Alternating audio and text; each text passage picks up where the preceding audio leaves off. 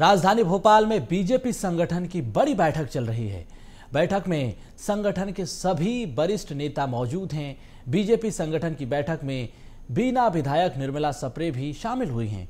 इस दौरान बीजेपी कांग्रेस को लेकर भी चर्चा हो रही है। जो बीजेपी का सदस्यता अभियान चल रहा है, उसको लेकर भी बातचीत हो रही है। कांग्रेस के खिलाफ कैसे रणनीति बनाई जाए चुनाव में, उस पर भी बातचीत हो रही है। इसी बीच संवाददाता रंजन भगत ने निर्मला सप्रे से खास बातचीत की है। को लेकर के भारतीय जनता पार्टी कार्यालय में एक बड़ी बैठक आज बुलाई गई है जिस तमाम सारे कार्यकर्ता जो अलग अलग जगह से पहुँचे हैं। अभी मैं आपको दिखाना चाहूँगा हमारे साथ निर्मला सप्रे जी हैं जो कि बीना से विधायक हैं कि लगातार आपको लेकर के संशय बना हुआ था कि आप कांग्रेस में बीजेपी में लेकिन आज आप बैठक में हैं तो इसे सीधा तौर पर समझा जा सकता कि आप बीजेपी में ही हैं? देखिए मैं ये नहीं कह रही कि मैं कहाँ बैठी हूँ। मैं ये कह रही हूँ कि चूँकि मैं, मुझे कुछ डिस्कशन करता था, विनोद दीदी मेरे वहीं की हैं और उनका आना हुआ, अचानक मेरा भी वहीं आना हुआ।